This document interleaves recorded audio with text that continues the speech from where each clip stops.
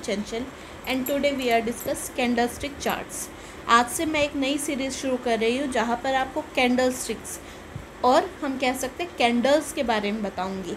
कौन कौन से पैटर्न होते हैं कैंडल हमारे कितने टाइप के होते हैं?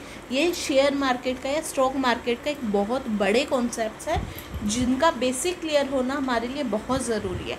इसलिए मैं स्टार्ट कैंडल स्टिक पैटर्न से कर रही हूँ कैंडल स्टिक चार्ट से कर रही हूँ।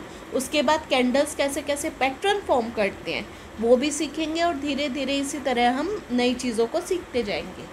And it's totally free for you all I hope आप लोगों को पसंद आए। अगर पसंद आए प्लीज़ लाइक शेयर और सब्सक्राइब ज़रूर करके जाना मेरे चैनल को। इसी बात से चलो हम स्टार्ट करते हैं अपनी पहली वीडियो को। Candle stick chart candle stick patterns कह सकते हैं हम। कैंडल स्टिक चार्ट कह सकते हैं। कैंडल स्टिक सबसे पहले समझना होगा कैंडल स्टिक क्या होती है। हमारी कैंडल कैंडल आप लोगों ने देखी होगी मतलब मोमबत्ती जो हम कहते हैं। ठीक है, वो उसका और कैंडल स्टिक का क्या सिमिलरिटीज़ है, वो बताएँगे। लेकिन उससे पहले हम जान लेते हैं कैंडल स्टिक चार्ट्स क्या होते हैं।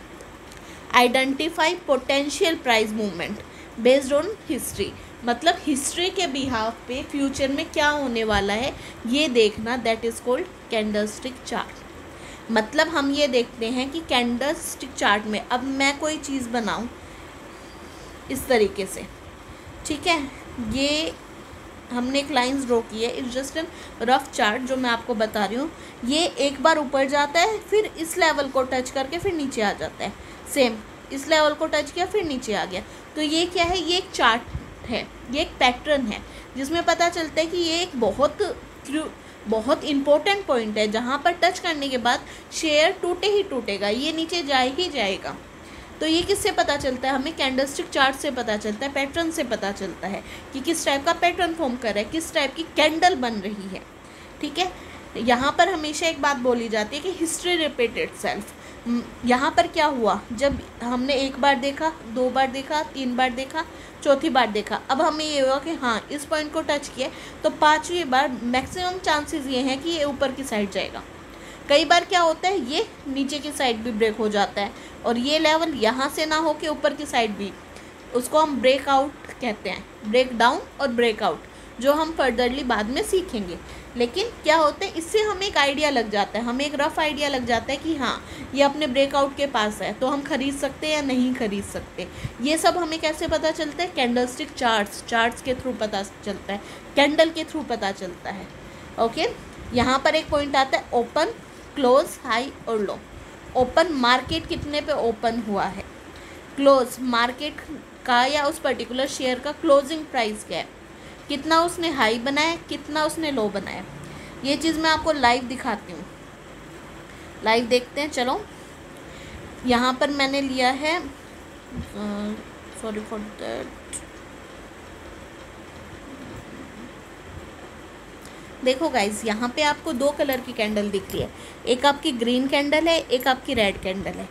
ग्रीन कैंडल ग्रीन का मतलब हरी झंडी, जो हम नॉर्मली लैंग्वेज में यूज़ करते हैं। रेड मतलब कि लाल। रेड मतलब कि हाँ कुछ ना कुछ तो गड़बड़ होने वाली है।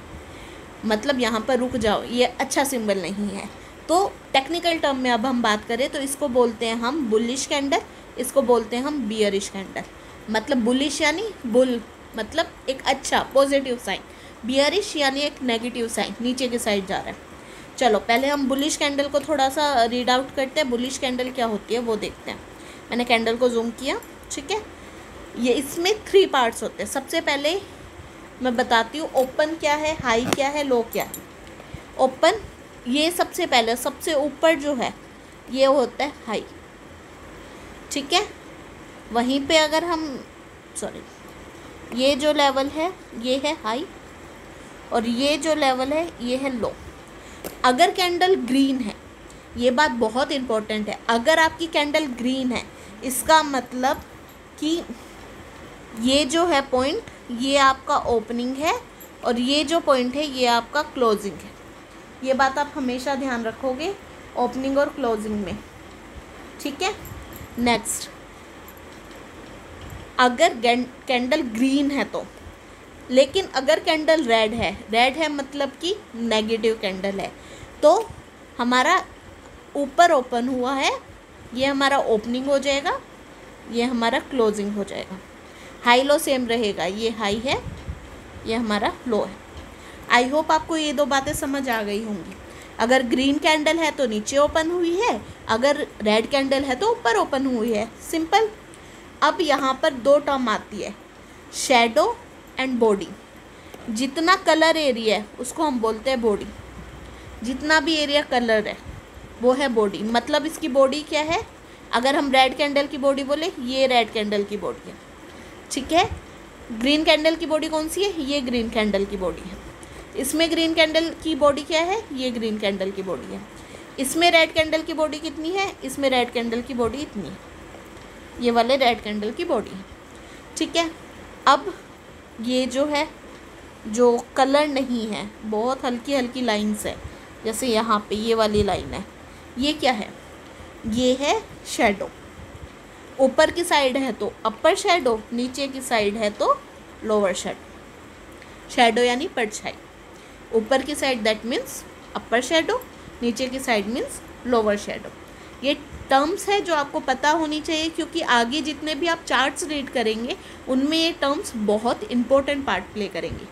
आई होप आप लोगों को क्लियर हो गया होगा। अगर क्लियर हुआ है तो लाइक शेयर और सब्सक्राइब करना मत भूलिएगा। Thank you